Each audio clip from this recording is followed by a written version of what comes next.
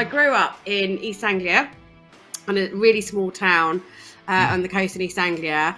Uh, my parents emigrated from India um, in the sort of late 60s. So in East Anglia, we were the only brown family in town. So that was kind of my life where I grew up. So I was always different, essentially. So I worked my way up in corporate. I was vi- global vice president of sales and marketing for a FTSE 250 company. You know, had a big global team. And I had a moment where I was like, is this really what I want to keep on doing? It felt like the world was falling apart.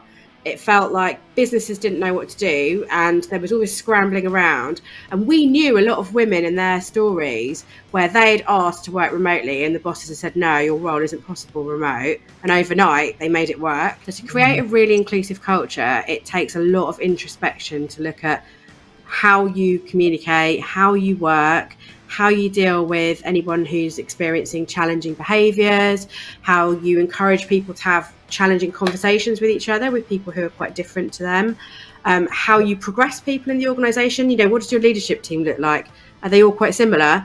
Because if that's the case, then that's reflected in the organization. I still hear stories about. Um, Let's give you an example. Women being made to sign NDAs and given some money to shut up and go away. There's quite a lot of that you'll be surprised. Um, and then, and obviously, you don't hear about that because they can't talk about it. So many things about our society need to change. So there is a positive story about change, but there is so far to go.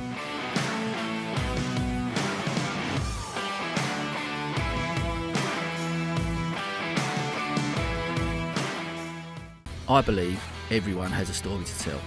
Through seeking true, authentic insights about the entrepreneurial journey, I provide a platform for our peers to share their stories and inspire those that listen.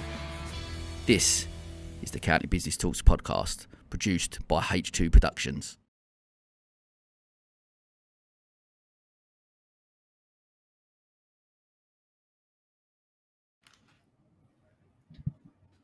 Hello, Mo. How are you? Good. How are you? I'm okay. I'm okay. How's the voice doing? the, the voice not doing so great. I've got I've got me honey and lemon, and I'm, uh, I'm I'm getting through it. But we're doing okay. We're doing okay. We're surviving. So, mate, listen, thanks so much for jumping on. I really appreciate it, and really appreciate your support. So, thanks for inviting me on. Uh, yeah. Where um, look, this is this is guest twenty one or twenty four. Um, wow. to watch this space we're going to jump straight in. Tell tell our listeners a little bit about yourself and your and your story and, and career. Yeah, I'll I'll do some talking, Sam. Save your voice for a bit. Yeah. yeah. So you asked me to tell you about my story, so I thought I'll start right back at the beginning. So I grew up in East Anglia, in a really small town uh, on the coast in East Anglia. Uh, my parents emigrated from India um, in the sort of late 60s. So in East Anglia, we were the only brown family in town. So that was kind of my life where I grew up. So I was always different, essentially. Um, mm-hmm. And that kind of stayed with me all the way through school, that I was the one that was always different, doing different things. Yes, faced bullying and all of those things. But actually, I think from that, learned that it's okay to be different. And it sort of that stayed with me, I think. Um, And then when I was going to, coming to university, that's when I came to Brighton to university. And absolutely fell in love with the place, and I haven't really managed to leave for long ever since then. So I've done lots of things, but I always somehow gravitate back to Brighton because I love it. Um, absolutely loved university, Sussex University. I'm still very much in contact with them. It was fantastic. And then mm. when I finished my degree, so I did a degree in English literature, went to London for a bit, then I was like, what am I going to do now? I need to earn some money. Um, and that's when I really started working in in marketing initially, but then into sales. And I realised that technology sales was really what I was suited to, because the skill in tech sales is to understand complicated technology and explain it to people by telling a story. And I realised that actually I was quite good at doing that, and I really enjoyed the selling and sort of jumping around the world. So that's what I did for many years, working in lots of different companies selling all kinds of technology. So I've sold um, strange things that go in radiotherapy machines that help zap the tumor. I've sold chips that go into technology. I've sold things that go in security systems, you know, any kind of odd technology. That's the kind of stuff I've sold. And I, you know, I found that I learned so much having been someone that wasn't interested in science at school. I learned a lot about tech and sort of then moved into software sales as well and you know, I love sort of understanding how code works and UX and all of those things. Um, and you know, I'm someone. I think a lot of kids from who have parents who've immigrated have a lot of pressure on you to achieve. So yes. there's a lot of pressure of like, you know, you've got to survive, you know, you've got to make money and all those things. So that's what I focused on doing for many years. I worked my way up in corporate. I was global vice president of sales and marketing for a FTSE 250 company. You know, had a big global team, flew around the world, traveled all the time, was never really at home, hardly ever saw my husband. I was always sort of working really, really long hours. And for a long time, I loved it. I absolutely like buzzed from it, and it was fantastic. Until there came a point, I think really the company I was working for got bought by a bigger American corporation, and that meant that I wasn't at the head office anymore in London. So I was going to have to go to California like all the time. And I had a moment where I was like, is this really what I want to keep on doing? Um, and so that's the, the, moment where I thought, no, it isn't. And I um, stopped doing that and started working in Brighton and worked for a fantastic software company in Brighton called Magix. if you know them, they're, they're a great software company. And it was like, it was life changing because suddenly I wasn't like traveling to work. I was just walking down the road. Um, I didn't have to get 20 signatures to get something signed off. I just walked around the corner, spoke to the owners, and they said, Yeah, crack on, that's fine. And so it was really like showed me a different way of working. And kind of what work life could be about rather mm-hmm. than it always being the pressure of shareholders and all of those things. So it was brilliant and I absolutely loved it. And I was there for a couple of years. And then it was just before the pandemic, actually, that I'd started uh, freelancing as a sales director consultant. Um, mm. so that was in like October 2019. So I was doing that until the pandemic. and at, the, at that point, already, when I was working in Brighton, I'd met my two business partners because they run a group called Brighton Digital Women. And I'd basically, when I stopped commuting, I thought to myself, do you know what? I could do nothing with this free time that I've now got, or I could try and do something with the time. So I started working for volunteering for a couple of charities and I joined the Brighton Digital Women team to help organize events. So I'd already met them and that that group was about women in the tech sector networking together, practicing speaking, supporting each other. We had speakers in for events as well. So we were already doing that um, right up until the pandemic. Um, and then it was it was then when the pandemic hit, so it was sort of that early 2020 phase was when we then sort of sort of transform what we were doing into this idea of watch this space. So yeah, there you go. That's my little journey. Wow what, an, what an amazing journey to, to share. And thank you for sharing. I think so because I'm really keen to. Like, obviously, I, I, I, met you not long after you'd obviously launched Watch This Space. We'd done the virtual awards, and you was nominated for the award. Um, yeah, and, which was really exciting, I think. But like, you, you launched then during the global pandemic. Talk, talk to me about like, obviously the, the, decision, obviously to to launch at that at that time. I guess you know a lot of yeah. companies are closing at that time and and and and really struggling and wondering what they're doing, and then you're launching a business at that time. So talk talk to me about that. Yeah, so we were in that space where I was consulting. So I had I did have clients all the way through, but I was consulting. Um, Allegra was also consulting. She was a freelance consultant. At the time, Rachel was actually on holiday in Japan at the early stage of the pandemic, and we were saying, oh, "Rachel, I think you might need to come home now." But she was still on holiday, and when she came back, we were just on a lot of Zoom calls together, like a lot of people. Yeah. Our business was launched on WhatsApp and Zoom. We were on these calls and we were saying, you know, it felt like the world was falling apart. It felt like businesses didn't know what to do and there was always scrambling around. And we knew a lot of women in their stories where they'd asked to work remotely and the bosses had said, no, your role isn't possible remote. And overnight they made it work and we saw um, a lot of women suddenly having to do childcare and it really did seem like it felt a lot to women to do that. And so we, we felt, really felt like we wanted to do something about that. We saw we just kind of felt like the world was changing overnight how it worked. It felt like the biggest work from home experiment anyone could have imagined. Um, and just the whole rethinking of purpose you know businesses were really really in crisis at that mm-hmm. and it was through all of that that we said, you know what? It's not just about women in tech. And Rachel and Allegra had already had the idea for Watch This Space about a year before that, just hadn't progressed with it. And we were like, well, do you know what? We've we're stuck in our homes. We can't go out anywhere. It'll give us something to do. Why don't we just try thinking about what we could do to make it a business? And I really don't think at that stage we thought we'd be where we are now. It was an idea. It was something in the background. Um, we were like, it gave us, it really gave us something to do because it gave us something to really focus on and it just kind of progressed from there and honestly if you like in 2020 if you'd said to us that we'd be where we are now we would not have believed you we had no idea what it was going to turn into well, I love that though. That the the kernel of an idea is there, and just actually we've got this bit of time. because obviously you, you like you know, I've talked to you a few times and your positive energy and enthusiasm for stuff. You can even just listening to your story, like talking about the, the, the places you've worked and, and the enthusiasm for working in that sales environment as well. But actually, I need to change. So I'm going to do this, and then I embrace that, and that's great. And you can so between you and and Allegra and Rachel, get into that point and going, actually, let's push this forward and you know, it's a, a negative situation that which is COVID and the global pandemic. But let's take something positive out of this, and we're we'll create this business and and see where we go with it. And and wow, what what what a last couple of years. Yeah, it's been. I mean, it's been absolutely incredible. It really has. So yeah, we when I first met you is when we've been nominated for those virtual oh, awards yeah. that you did.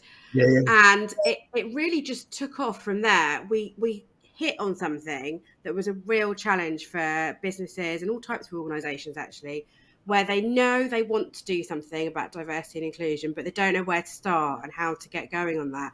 And that's our that's really where we help people to get started and work out what they're going to do. And also we launched it was probably april 2020 when we set up social media and everything. And then it was the summer of 2020 where it was the black lives matter movement and suddenly everybody was thinking about the kinds of things that we were working on. And so we got a lot of attention quite quickly and really just hit on how to talk to people because we found a lot of people were pointing out problems, but not necessarily giving people solutions. And mm. also, people are just scared a lot of the time. They don't know what to do and how how they should talk about things, and you know what they should actually do about a problem they know exists, but they don't know how what to pro- pro- progress with really. So we that's what we hit on and progress from there. I mean, talk, talk to me. To just explain, I guess, to, to the listeners a little bit about what's your Space, what it is, what you got, what you guys do, and and and that's yeah. really good context to, to, to, that. Yeah, so just explain to listeners a bit about that. Yeah, so um, essentially, the three of us had already worked a lot on diversity inclusion. So when I was in corporate, I did loads of work on um, diversity and inclusion programs. I learned a lot. I learned that you can recruit people into the graduate and apprentice schemes, but if they have a bad experience, they won't stay very long. And that used to happen quite a lot. So that's that we used all of that to launch Watch This Space. And so what we do is um, usually our engagement starts with people where we do something called an inclusion audit, where we have a whole big discovery phase where we do discovery workshops with people across the organization. We do a survey, we look at policies, we look at procedures, we look at all the data about an organization we look at their communications, their reputation. We often talk to clients and partners, and we build up a really good picture of the organization and then give them a score for our six pillars um, for each area, things like communication and people. And then we give them a roadmap for change, which we break down into different sections. So there's there's always some quick things they can do, and then mm-hmm. sort of six to 12 months and then longer term. And we work with them on that roadmap for change because, again, often people get stuck there. Now what? So we help them with that. And then as part of that, we offer training as well. So we do training on things like um, inclusive communication, uh, unconscious bias, and, you know, all sorts of different training and so that gets rolled out as well. And then some people come to us directly for training as well. That's another very popular service that we sell. People come to us for training and we train their teams either in person or remotely uh, and we have like an e-learning platform as well. And then the other arms what we do is communication. So people need to communicate what they're doing, not only internally around their organization, so that people don't worry about what's going on, but the external reputation is really important. And we really encourage our clients to talk quite openly about the fact that they're on a journey and they're working on diversity and inclusion. It's amazing. I think now, certainly for me, like you said, I listen to you talk about it, and there's, uh, again, I guess things like diversity and inclusion, sustainability, those type of topics that companies know that they need to address. But one, like you said, they don't actually know where to start. No, I know I need yeah. to have a more um, diverse and inclusive culture within the company. How do we start that? We've never looked at that before, but we need we know we need to now. So coming to you guys as a starting point, I guess. And but not what was fascinating actually about the, the, the model you've created is not just about how you can educate people, but actually giving them the tools to be able to, like you said, follow a roadmap. Because that's an, that's another battle, isn't it? Because there's so much education out there. People can go and maybe listen to podcasts or they can um, get information from articles and other bits and pieces. But actually, then knowing how to the best way to implement those things as well. And I guess yeah, how do they actually translate that into action? So sometimes we talk to people and they say, "Oh, well, you know, we advertise jobs, but no one different applies." And it's like, okay, so you're blaming people for not applying for your jobs. Actually, you need to think about this a different way. We say, right, let's have a look at how you're communicating. What are you saying about what it's like to work there? You know, what does your social media say? What do you say? You know people need to look at their organisation and themselves rather than somehow putting the blame on people for not applying for their roles. Yeah. That's quite a common thing we work on is recruitment. Yeah, I can imagine. I can imagine. Well, talk to me. Look, I, I, I, again, I probably on every episode of the podcast I've recorded, I always, I always talk about culture, and and certainly from from this conversation, I was so excited about obviously having this call with you and, and talking about. So you know, culture in companies is, is as I said, is something I find fascinating. But talk to me some of the things that companies should be doing to, I guess, to create a more inclusive culture. With it. Can you give us some top? Yeah, yeah. There's lots of things there. So, um, it, creating inclusive culture really takes thinking about who are all the different types of people that that could could work in your organization not just yeah. the people who are like you. So yes. we advise our clients when we see things like, you know, they talk about we go for beers on a Friday. Okay, who are you really appealing to when you when you say that? There's nothing wrong with going for beers on a Friday, but you need to be aware that you're then excluding quite a lot of people who might not yeah. want to do that. For me, that's always a bit of a red flag, things like that, where they say, we do this, rather than talking about variety and including different types of people. So, to create a mm. really inclusive culture, it takes a lot of introspection to look at how you communicate, how you work, how you deal with anyone who's experiencing challenging behaviors, how you encourage people to have challenging conversations with each other with people who are quite different to them, um, how you progress people in the organization. You know, what does your leadership team look like? Are they all quite similar? Because if that's the case then that's reflected in the organization. So it takes a bit of those kinds of questions which is the work that we do with people. We do ask quite challenging uh, like questions to people to say well okay well let's look at this. What does that actually mean? Does that really mean inclusion? So another example that that I'll see coming up now because we're in sort of getting into late October is a lot of talk about Christmas and Christmas parties and Christmas drinks and all those things all great stuff, and lots of people celebrate Christmas. I'm somebody that doesn't, I'm not that bothered about it. So if you're going to just ram that down people's throats, what about other religious festivals? So, for example, we've just had the one that my family celebrate in early October. You know, how have you helped people to celebrate their particular festival? You know, just mm. just things like that. If you're going to create a really inclusive culture, how are you going to make sure that people can actually be themselves and can talk about the things that are important to them. So I think there's a lot of talk about inclusive cultures that don't actually translate into actions. And it's uh, again, it's it's opening people's minds to to that as well, because like, there's so many people. I guess you must talk to, me included as well. You listen to that and you think, no, well, because we've always done that. Everyone, of course, we can always have a Christmas party, and that and that just seems like it's the normal thing to do. And that's but change doesn't happen unless you address though what, like you said. I guess the interesting thing is the questions that you ask people to do that. Yeah. So, like you said, great, great, have a Christmas party, but yeah. There are, there are other We're not saying don't have a Christmas party, but understand that for some people that isn't what they want to do, and they they mm. may have their own religious festival or other type of celebration at mm. another point in the year that's really important to them and it's the most important one for them and how are you going to enable them being able to celebrate that. That actually goes back to my life as a, a, school child. When I was at school, we used to have this celebration in October that we used to go to in London. There's a huge uh, London celebration in Belsize mm. Park, and we used to go to it when I was a kid. And every year, my parents would have to have a conversation with my school and say she's going to have like a day off. And it was never long. They never took me out of school for long, but sometimes it was like a day, maybe the Friday or the Monday. And every year they'd be like, they, they would be difficult about it and it would be really like difficult challenging for my parents they'd have to say well this is really important to us so that yeah. i could go to something that was really important to the family and it's just yeah. that and i'm sure things have changed now in schools a lot but it was just that fact that the fact that that bit of difference wasn't tolerated almost it was like you know okay we'll let her do it but you know you'll need to talk to us about it again next year yeah, rather than it just be a complete given, and of course that'd be in the diary every year. And yeah, yeah, you know, and, uh, it's fascinating. I mean, what I'm interested then to see, like, what you, t- like.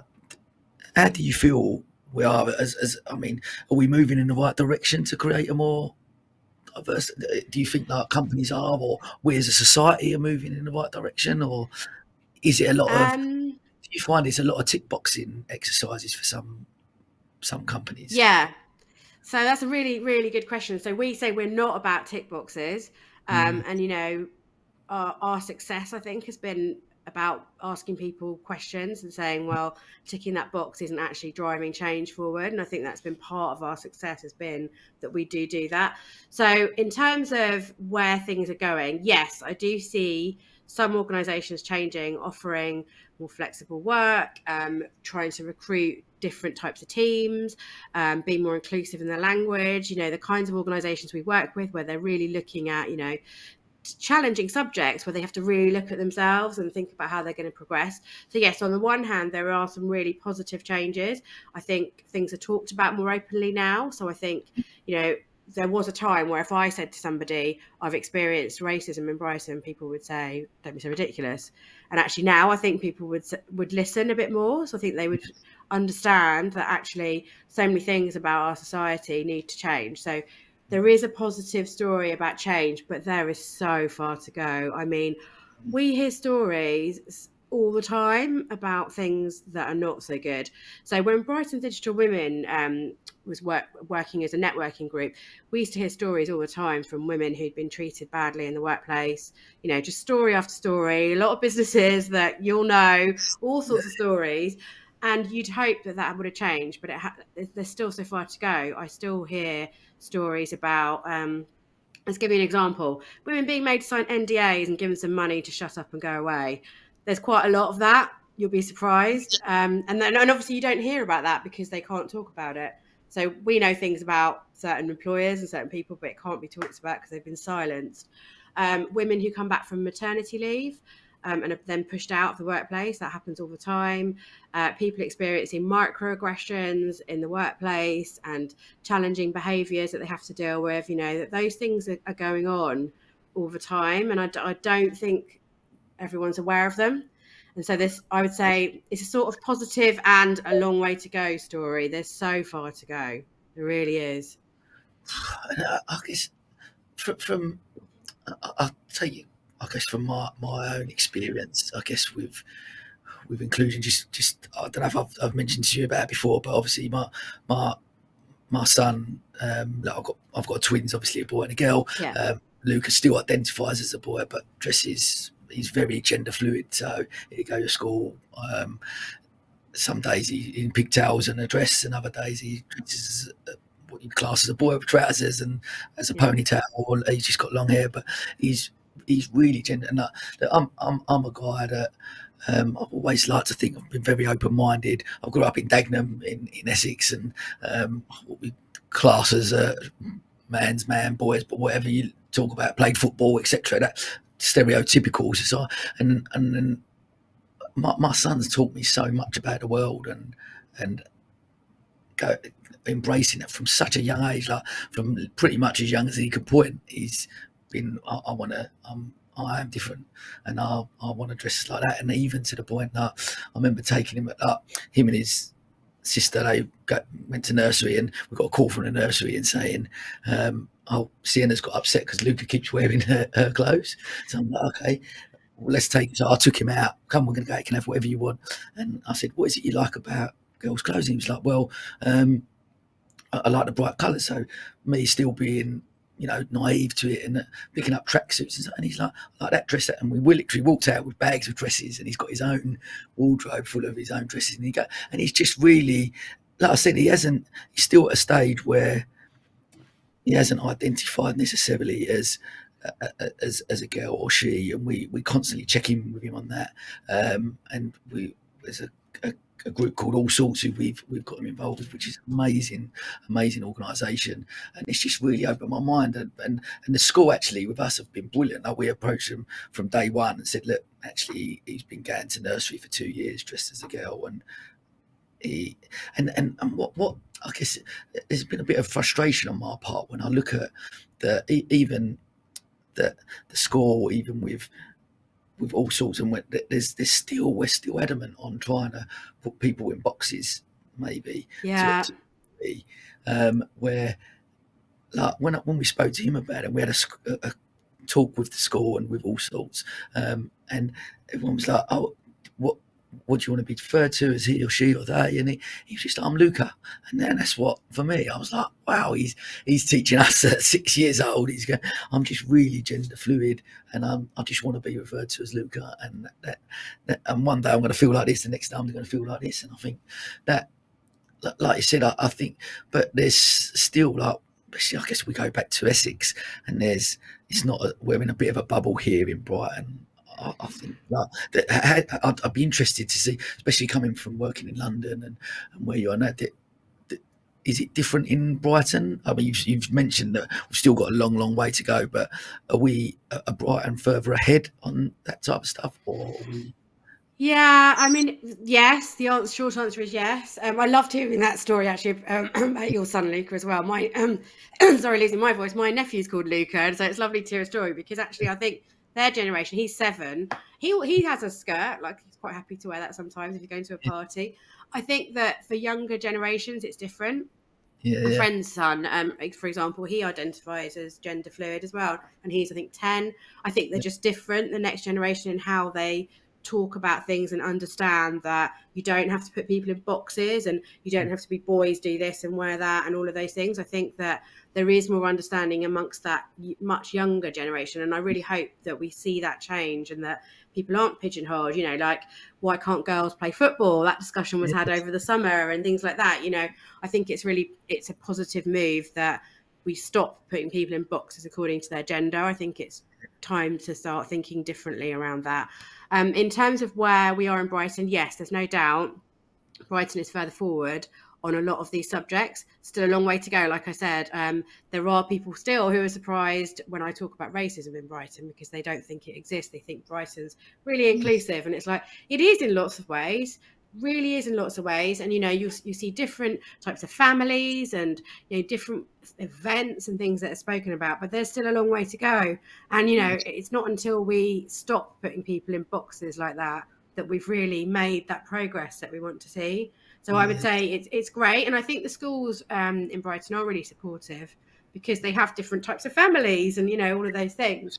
Um, and I think they are generally, but that's like that's like a general yes they are. And I also think that the sort of central areas of the city are quite different to further out.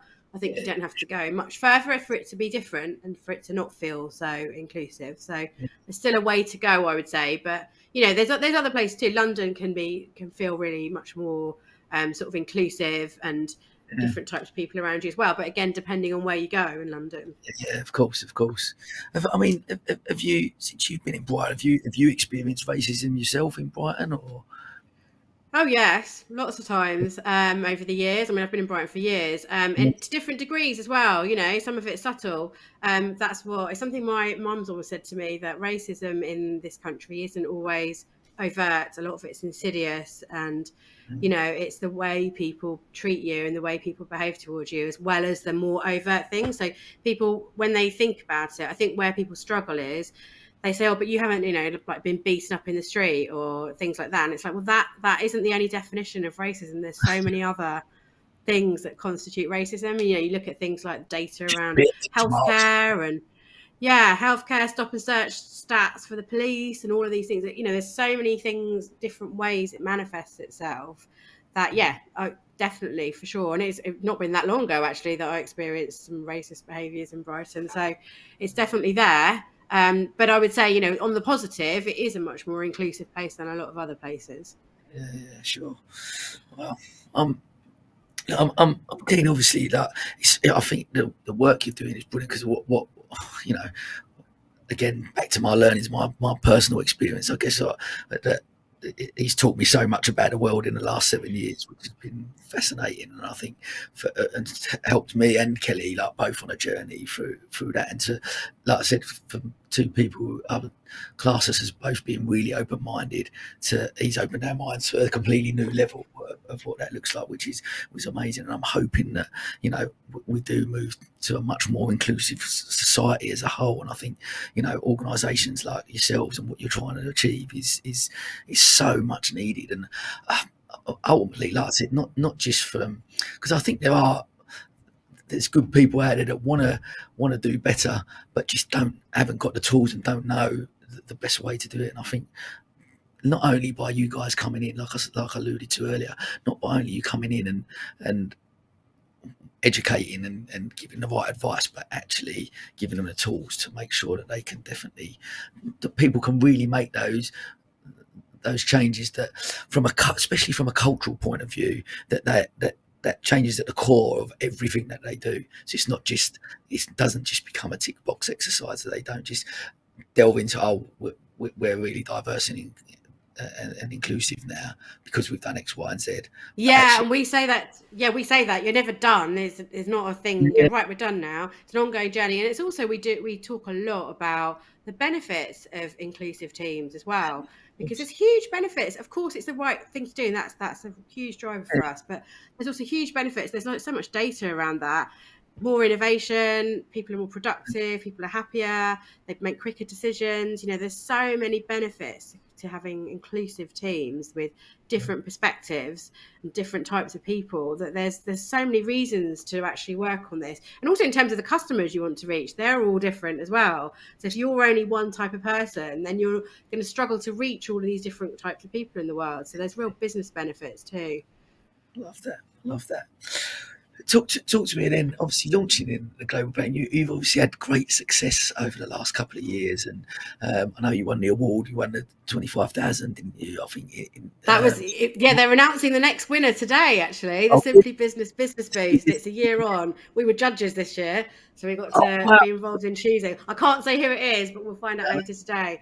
But yeah we so that was a year ago that we won that competition and it showed us that you should enter competitions because somebody has to win. yeah, yeah, that is phenomenal. But then I'm, I'm keen to, because of the growth and, and, the success that you've had over and, and watching that journey from, like I said, when, when we first met at the, the virtual walks. Uh, has there been some challenges along? What, what challenges have you guys faced along along the way? Because obviously, you oh look at it's been it's been phenomenal to see all the great stuff in it. But I, I can imagine in the background. Like, talk, talk to me about some of the challenges.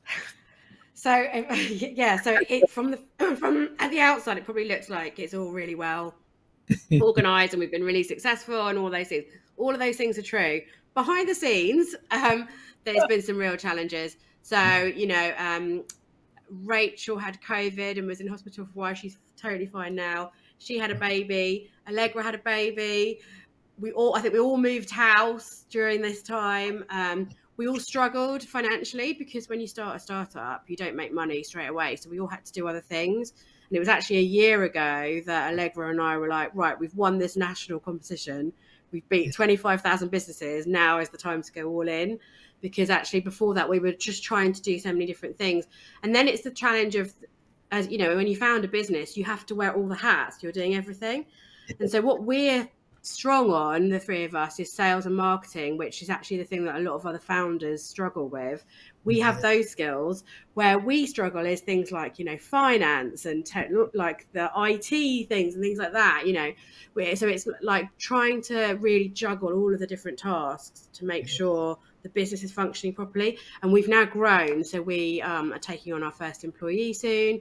We have a lot of freelancers that work for us. We've got freelancer you know starting to expand around the country as well. And it's running all of that takes up so much time. And um, i think probably a lot of founders you talk to will say this you know you can be working all hours. We did a conference um, the week before last and you know we Allegra was up till I think one in the morning, two nights in a row, getting it all live. And you know, it's all of those things that there are sort of no boundaries on when you found the business. You just got to do everything, and you just got to make it all happen. So there's been lots yeah. of challenges along the way, definitely. Yeah.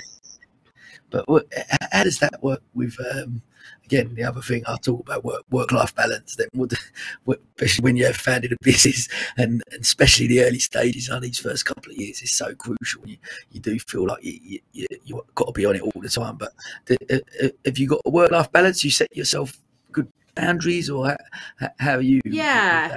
So Again, I think that's something we've learned to do. I don't think we didn't start with, and so we've now got. So, for example, Fridays we don't really work. We do, you know, we do odd things. I might go to mm. like a breakfast event or something like that, but we don't really. We try not to.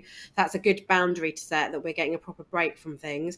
We work the hours we want, so we are remote first. We work the hours we want. So, you know, Allegra has small children that's that totally fits in with the business. She can collect them from nursery and school and all of those things and not have to worry about making up hours or anything like that. We don't operate in that way. It's about getting things done within the time that we've got. So I would say we haven't um, fixed.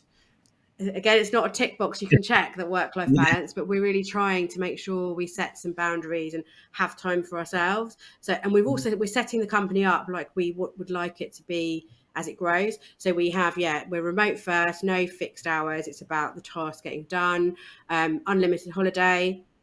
It's about, you know, taking a break when you need to and just agreeing with everybody else that you're going to have that time off. Not, you know, we don't want loads of forms to fill in and things like that.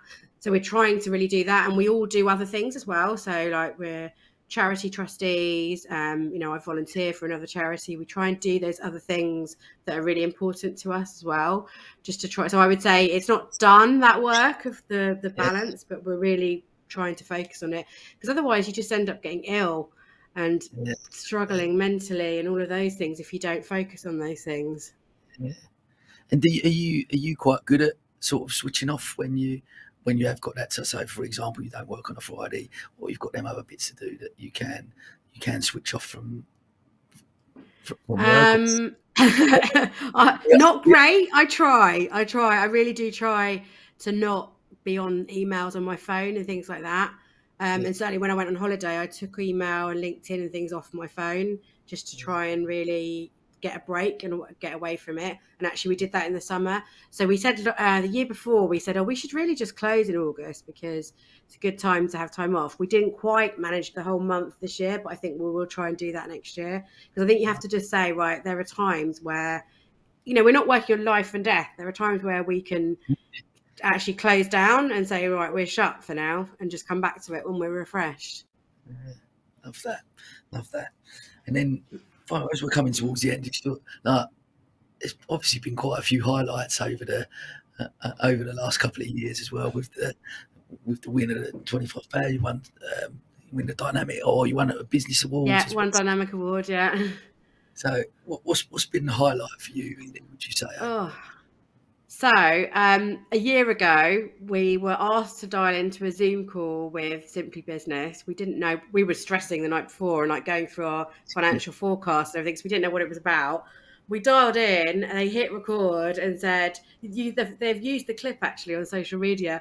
They hit record and then they said, We're pleased to tell you you've won Business Boost. And we were like, oh, That was, I mean, that was a real like changing moment for the business. That just like felt felt like suddenly this was like a proper business. That really was amazing.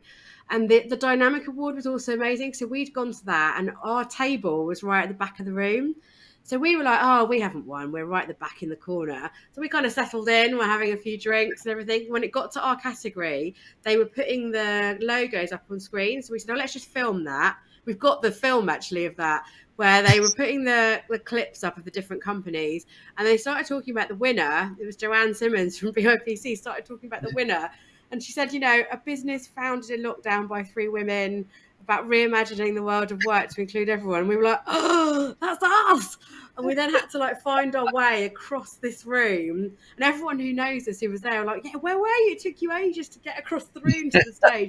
That was incredible. We had a, yeah it was incredible. We had a fantastic night, and you know that was another of those moments where it was just like, oh, this is incredible. We've actually like made something out of this. Yes, there's been there's been a lot of highlights along the way, but those two award wins do really stand out.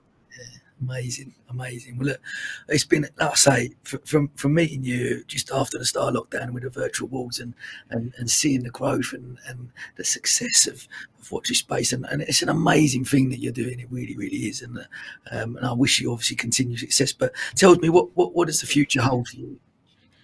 Oh, what does the future hold? Well, we're already planning on how to expand the business. So we've um, we've got somebody working for us in the Bristol area. So we're starting to expand into that area, and if that all works, then we'll do that uh, nationally. We've got some national clients as well. So that's what we want to do is sort of replicate what we've done in this area in other areas around the country. We are writing a book which we had a we had writing week in uh, earlier this year. We just need to do some more work on that. Um, so we'd really like to do that and try and um, get a, get a book out there about the work, about what we do. So we're doing that as well, um, and really just continuing the the growth of the business so that we can um, continue to drive change because that's it, is something we're all really passionate about. So that's what we want to do. And in terms of, of my future personally, I also do lots of other things. Um, so I'm a trustee for the Clocktower Sanctuary charity. I'm a non-exec director at a healthcare social enterprise called Here, who are in Brighton as well. Uh, and I love doing those things too. And just continuing that variety of life of having like different things going on. I really want to continue doing that. I love that. I love that. There's something about that for me, I similar. I spin a few plates, as you know, and but uh, as much as sometimes that you go, God, am I spinning too many? So much on, loads of things happening. At the same time, if I didn't have them things, I think I'd be a bit bored. I need to. I love having. I've just. I think I've accepted about myself that that's who I am and that's what I do. So it's, it's cool to be. That's like what I'm like too. So if I if I say to myself, I'm going to have a quiet week, I'm not going to do anything. By about day two, I'm like, right, I need something to do now. absolutely. Absolutely. Mate, it's been fascinating talking to you. We're going to finish up, as I've done every episode, with our quick fire questions, if yeah. I can. So, um, one piece of advice would you give to your 18 year old self? Yeah, it's funny. I was listening to your previous guest. Uh, mine is very similar. I would say it doesn't matter what the people around you say that now at 18 say, think about you, you know, anything horrible that you're experiencing, those people won't be significant in your life and future. And focus on you and don't worry about what other people think. It's about you. Love that. Love that. Who's been your biggest inspiration throughout your life and why? Um, that's an interesting one. My parents, but particularly my dad, he he passed away in 2019, and he um, got through medical school on a scholarship, like it wasn't from a wealthy background, sort of became a doctor, made the decision to emigrate to the UK, had a really hard time, you know, it was a real inspiration all the way through. And actually my whole extended family that did that, they're all inspiring in doing that. Love that. Love it. Um, could you recommend a book or a podcast for our listeners that's had an impact on you? Yeah, there's two. I made a note of them. So um, one of them is The Bluest Eye by Toni Morrison. She's one of my favourite writers. Um, a lot of her books are incredible, and people often talk about Beloved, but The Bluest Eye had a real impact on me, and I really recommend it. And it's not a long book to read as well. It's really good. And I've got to talk about a podcast that I've just started listening to. So it's the Archetypes podcast, the Meghan Markle one. Um, so I'm not a royal. I'm going to full disclosure. I'm not. I'm anti royal family, but her podcast. I think she, you know, lots of ways she is too. Her podcast's incredible. If you haven't listened to it, it's really no. worth listening to. Amazing. Yeah. I love that. And finally, what is your one rule for living a fulfilled life? Uh, I'm not sure I always live it, but balance. So a balance of fun, travel, meeting different people, work, you know, all those different things is definitely um, good for a filled life and sort of surrounding yourself with positive people in, in all those things you do. Yeah. Mo, thank you so much. It's been brilliant. I'm really grateful. Thank you. That eight o'clock in the morning with, with, with, four to go, and your enthusiasm and energy has certainly, you know, lifted me, and it's been a brilliant Good. conversation. So thank you so much. I'm genuinely grateful. Thanks for your support, and um, wish you continued success. And you, and good luck with the rest of the podcast and your voice. Let's hope it keeps going all the way through. Yeah, we nearly there. And that is a wrap. Thank you so much.